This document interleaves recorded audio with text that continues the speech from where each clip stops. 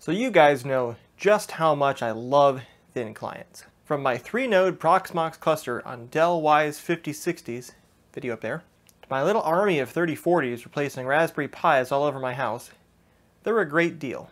But it seems like you guys are buying all the 3040s now, so I had to venture out and find something new. Thin client power supply. Here it is. I don't even remember what model it is. It doesn't even say. It's an HP T530. It's a bit on the chunky side compared to the 3040s, but smaller than 5060, so not too bad. So for I.O., we got power. Came with a power brick. Very important. Sometimes these are hard to source. It's like this one's 19 volts. We got two USB 2, gigabit Ethernet, two DisplayPort, two USB 3. They're not blue, but they're labeled Super Speed. In the front, we got headphone jack, a Super Speed Type C, and a Super Speed Type A. This was like 30 bucks plus shipping. So you know, of course, I'm not just going to plug it in, but let's open it up and see what's inside. So I think the way to open this is by popping this bracket here.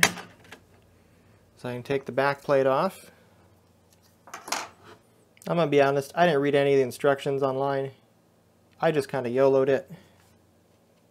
Looks like there's a green tab here. Oh, yep, that pops off something. Oh yeah, now the front can come off, or I guess back, depending on how you look at it, or side, whatever.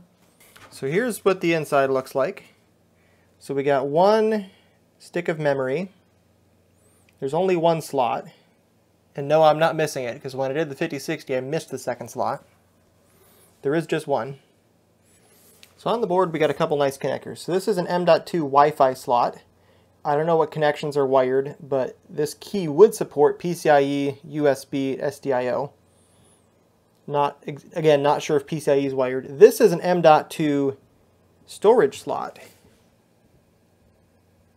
It's labeled SSD, and I don't believe there's any other storage in this device, so this must have been removed by the seller or they were booting it um, off a network. So I'm going to have to get an SSD and put it in here for testing. Because if this can take a full-size M.2 SSD, that'll be like a game changer for these little thin clients. Because some of them are really hard to upgrade and some of them have completely soldered memory. And that's basically it. So I'm going to put it back together and boot it up. I decided that screen capture is more important than a monitor, so we got the laptop here. I also went and I found two M.2 SSDs. This one is SATA and this one is NVMe. So I can use these to test and see what compatibility this thing has. I think it originally had a SATA SSD, but I want to know if it works with NVMe as well. That would mean you could put accelerators like a Coral TPU or other stuff that fits in a PCIe M.2 slot, if it works. We're going to figure that out. First, we're going to boot a live CD, see what happens. Press any key for option ROM messages. Booted straight into my flash drive, no configuration necessary. Some of these things are locked, so they won't boot from USB, they'll only boot from network or whatever. So that might be a problem you might have if you buy from a different seller. It all depends on how they were used, because all this stuff is used, so whoever configured it last might have configured it differently than mine. But I'm going right into Xubuntu. I'm using uh, Xubuntu 20.04, and I'm using that version because I already have it on the special Rubik's Cube flash drive, and it's the same version I use to test all the other thin clients. Also, the new version of Xubuntu is bigger than 2 gigs. The special Rubik's Cube flash drive is only 2 gigs. According to the docs for this thing, it should be able to decode H.264 at 1080p, um, but not 4K. That's what the GPU documentation suggests. It's got an AMD APU, so it's an AMD mobile chip. I'm not sure exactly what generation. It's pre-Zen though, so it's not one of the Zen APUs. So we got 1080p on Xubuntu, that's a good sign. How about uh, Firefox? See what happens when we play back a video. Oh, I got numlock stuck.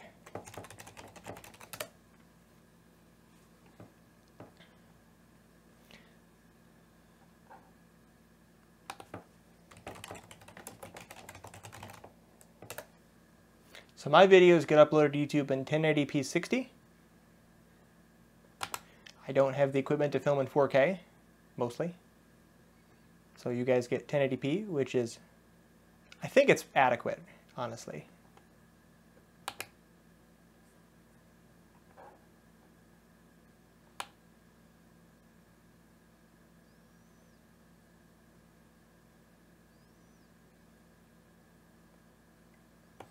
How about we watch the uh, the cluster video? This one was real popular. And we got ads. Come on, stats for nerds. Take me stats for nerds. Ooh, there's a speaker.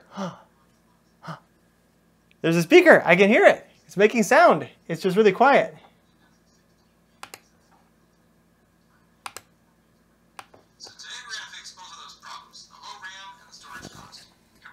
I don't know if you can hear that.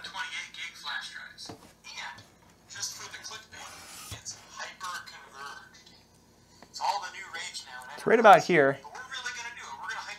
To be honest, it sounds pretty awful, but um,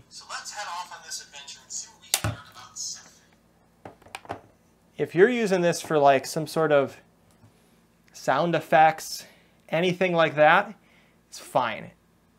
Don't expect any like good audio quality. I have a perfect use case for this. This is going to be the perfect thin client for something I want to build. Yeah, shut up, YouTube.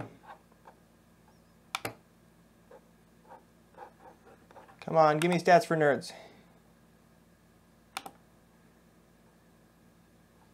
So we are at 480, 1080p 60 please.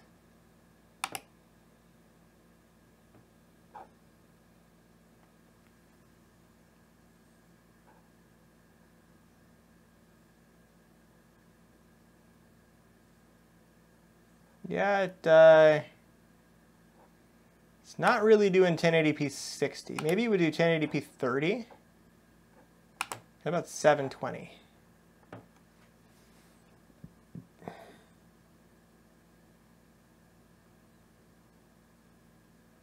Yeah, 720 seems to be doing it.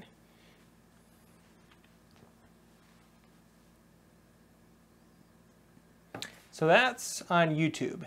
Um, I'm going to record the CPU info, the LSPCI, and the VA info. I'm to post them on the blog, link down below. So if you really want to geek out on what CPU flags this thing has, that sort of thing, link down in the description. That'll have the printouts. That said, this is perfectly usable as a desktop. If you're not, I mean, 1080p YouTube is not its thing. 720p YouTube, definitely its thing. Good at that. It's got like a laptop processor from like five years ago. What more could you want from it? And it was 30 bucks. I spent 30 bucks on this thing. Totally worth the 30 bucks. So yeah, that's my uh, software review. Now let's put these SSDs in and see if we can detect them and how they show up. So the seller on eBay removed the SSD from mine, which is honestly good practice if you're selling stuff. Either wipe it or remove it. So the screw for the SSD is a Torx. I will let you know when I find the right one. It's going to be a T8, I think. Oh yeah, T8. T8 Torx. Or you could buy an iFixit kit and have all of them. Again, not sponsored. They just make good stuff. Oh, this is a toolless jobby thing. The stock SSDs that come in this are really short, but it does have standoffs to go up to longer lengths which is good for me because I'm putting in a 2280. It does look like it's toolless, I just have to put it in the right space. Narrator, it was in fact not toolless. It's just a captive screw and standoff thingy, my bob. How does this go in? So I have to put this, yeah, okay. Yeah, it's just captive, it's not actually toolless. Got all my hopes up and everything. Okay, so this is the SATA one. I can't reformat this, so we're not going to put Home Assistant on here. Because this came out of one of my servers that I do need to work. I'm not going to bother putting the case back on. USB, DP, and power. Oh yeah, and, uh, and Linux. Okay, the 500 gig SATA drive worked, so the M.2 slot supports at least SATA. Still disappointed this isn't toolless. It's just a really fancy plastic captive screw. Let's try the NVMe. It's a Samsung 960 EVO, so just a pretty basic, I mean not super basic, but I didn't go out and buy this for this project. Okay, NVMe drive did not show up. Yep, looks like there's no PCIe on this port. So NVMe is not going to work. SATA is going to work. Looking at LSPCI, the drive doesn't show up in LSPCI. So this port is only wired for SATA, which to be honest is probably fine given how much computational power this has. You're not going to be blowing through SATA bandwidth anyway. But uh, just be aware of that when you're picking out your SSD for this. It's got to be SATA. Now my unit didn't come with Wi-Fi. There's still an M.2 Wi-Fi slot. And I don't know what connectors that supports. So the M.2 Wi-Fi slot could contain PCIe, USB, SDIO, UART, any number of other protocols. And is not terribly uncommon for low-end Wi-Fi cards to use SDIO. So like the Dell Wyse 3040, its uh, M.2 slot is only wired for SDIO. It doesn't have PCIe or USB. So this thing is an Intel Wi-Fi and Bluetooth card. And it has Wi-Fi on PCIe and Bluetooth on USB. So if this shows up, this will tell us if this slot is at least wired for PCIe and USB.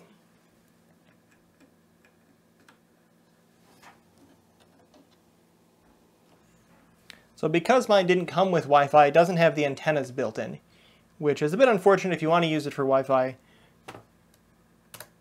I do realize though there's a lot of devices that fit in an M.2 Wi-Fi slot that just need PCIe. If you're using Home Assistant, the Coral TPU for Frigate object detection, they have a version that fits in a, a Wi-Fi slot that is great, and I'm sure a lot of you will be thinking about that. Intel Wi-Fi card shows up under PCIe under LSPCI. Bluetooth card shows up under USB. So the M.2 Wi-Fi slot works for at least PCIe and USB. So your Coral TPUs, they will work. For one final thing, we're going to go in the BIOS and see what that looks like. Okay, so we can set after power loss, we can set on.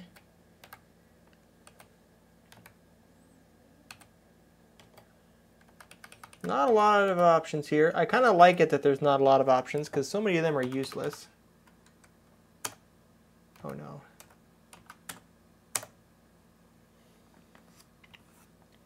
See if the PXE boot still works. Well, the VDI client works too. Hopefully you guys liked my look at this HP T530 thin client. It was a great deal on eBay, as most of these thin clients are.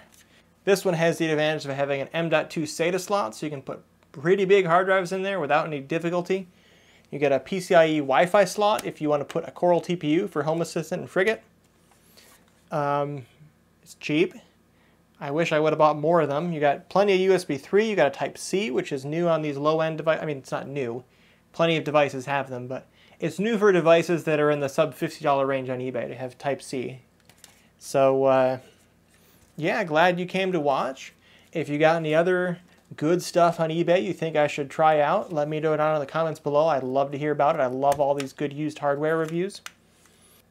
It's great to keep things out of e-waste. And for me, home labbing is all about having fun and learning about software I need. So I don't need a huge powerful server and something like this works great for plenty of home lab purposes and plenty of projects around the house. It's easier to find than a Raspberry Pi. It's a heck of a lot more powerful in most cases. And uh, yeah, it's great.